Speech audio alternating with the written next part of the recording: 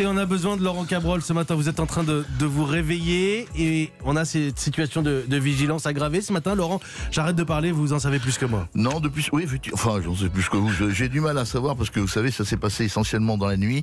Ça s'est réactivé brutalement à 2 heures du matin et les informations, euh, bien sûr, n'arrivent pas immédiatement et, et pour cause. Alors, ce que l'on sait maintenant, c'est que le phénomène en cours va se prolonger jusqu'à ce soir minuit.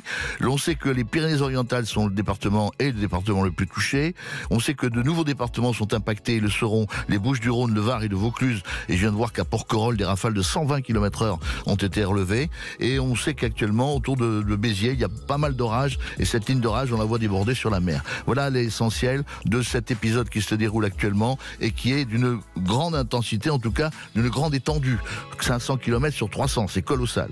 Et euh, maintenant, pour les autres régions, tous ceux d'entre vous, chers amis, qui n'habitent pas fort heureusement dans ces contrées, euh, bien vous aurez, par exemple, sur la Bretagne, la Normandie, la région parisienne, le Poitou-Charentes, euh, vous aurez un temps couvert et sec, un peu comme hier, la Bourgogne et tout. Euh, sur la région lyonnaise, quelques pluies dans l'après-midi et des températures qui, ma foi, sont des températures identiques également à celles d'hier, entre 14 et 20 degrés. Non, 14 et 28 degrés. Merci beaucoup, Laurent Cabrol.